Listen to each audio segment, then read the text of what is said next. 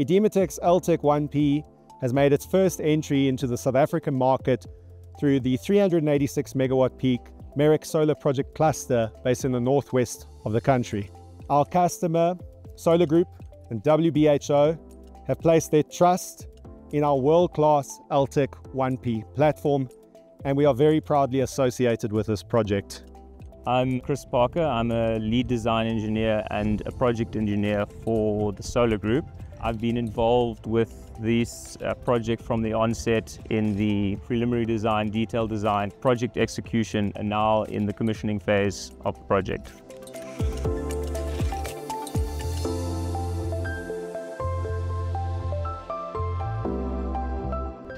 IDEEMATEC's L:TEC technology was the advantageous choice for this project for two reasons. Firstly, it provided the versatility in selecting a string length of our choosing and could accommodate varying module sizes. Secondly, the decentralized drive system. So we can achieve these very long tracker lengths. On this project, we have up to six strings in a tracker. And we have each table structurally decoupled from the next table due to the decentralized drive system. With the effective shorter length due to the shorter table, we can reduce the susceptibility of our tables to, to varying dynamic load effects that can occur under high wind speeds. We've been very pleasantly surprised at the accuracy of the pointing of the tracker and the in unison rotation of all six tables and continued alignment through the full operation and rotation of the tracker. This points to the accuracy of the decentralized drive system in maintaining that rotational alignment of the tables.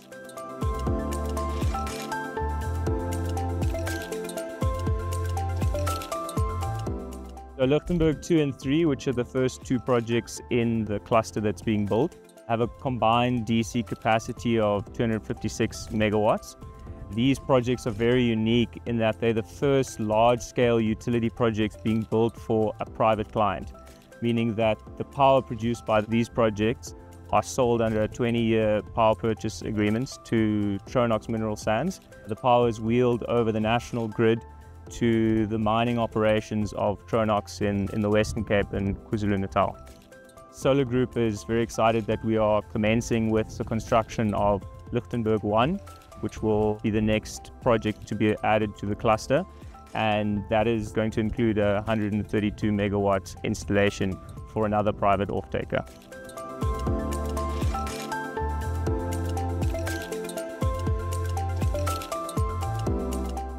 The construction of Lichtenburg 2 and 3 is having a major positive impact in the immediate region, providing over 900 work opportunities during the construction phase. These two projects, once commissioned, will produce 580,000 megawatt hours per year, which is going to provide a huge positive impact to the overall generation capacity in South Africa, helping to alleviate the strain that we're experiencing on our national grid. The SOLA Group is very proud to have partnered with IDEEMATEC for this signature project and been the first IPP to bring this L:TEC technology to South Africa.